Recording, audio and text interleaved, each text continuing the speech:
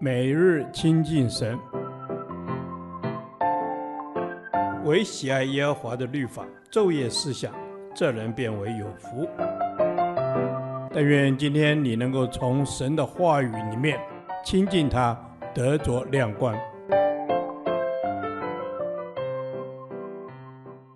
创世纪第五十七天，创世纪十八章二十二至三十三节，亚伯拉罕的代求。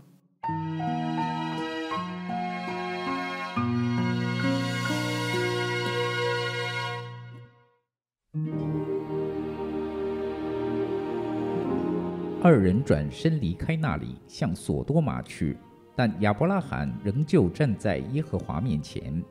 亚伯拉罕近前来说：“无论善恶，你都要剿灭吗？假若那城里有五十个异人，你还剿灭那地方吗？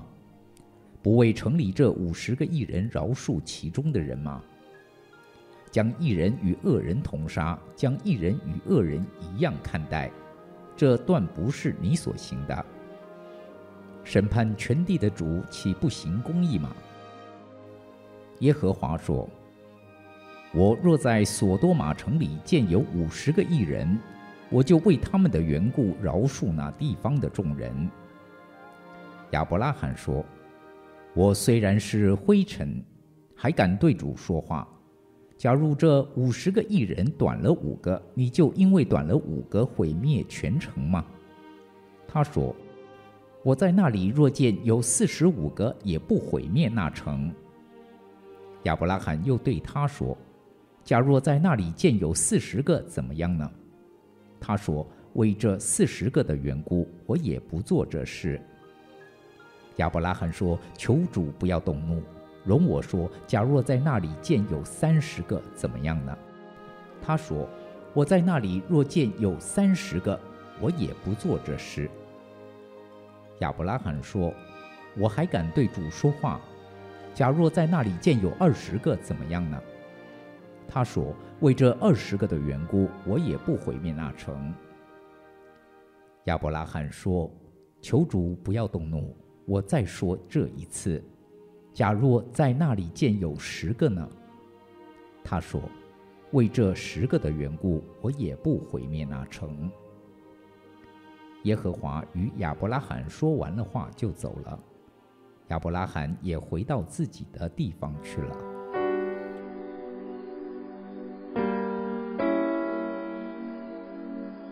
这段经文是亚伯拉罕与神交涉的过程，基本上是一个。向神求情的祷告，其实整段经文是表明神的心。面对人的罪恶，他期待有人代求。当两个天使代表耶和华前往调查和执行其他任务后，就只剩下亚伯拉罕和耶和华。神没有离去，他仍旧站在亚伯拉罕面前。他在那里等什么呢？神等着亚伯拉罕向他祷告，透过这个祷告，神也使亚伯拉罕明白，神之所以毁灭索多玛，是因这城的罪恶满盈，连十个艺人都没有，应该遭受刑罚。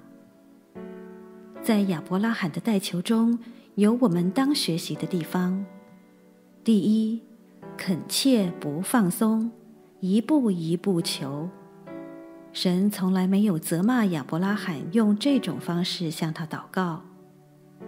第二，坦白，把心中想到的一一陈述，全部隐瞒，就如神将他的想法告诉亚伯拉罕一样。因为亚伯拉罕与神有亲密的关系，因此他在祷告时也大胆地和神理论，不担心神会因此发怒。第三，他在祷告时强调了神的属性，特别是神的公义和怜悯。第四，态度谦卑，他自称是灰尘。第五，他所关注的不只是自己的侄儿，乃是全城的居民。第六，出于恻隐之心。他甚至为那些曾经恶待他的人祈祷。亚伯拉罕对人的关心，就像出于神对人的怜悯心肠，他的爱心乃是源于对神的爱。在新约中，保罗也教导我们当为万人恳求，使我们因着代求能得着敬虔的生命，而不是集中在自己的需要上。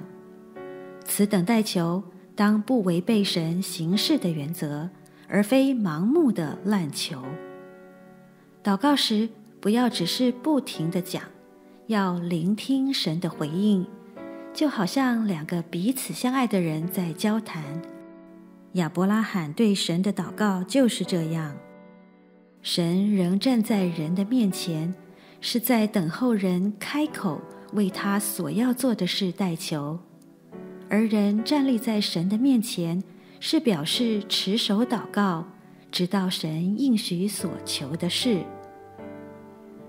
神啊，我愿意学习亚伯拉罕代求的榜样，让我能迫切的、不放弃的为我所在的城市与国家祷告，直到能看到这个城市国家属于你。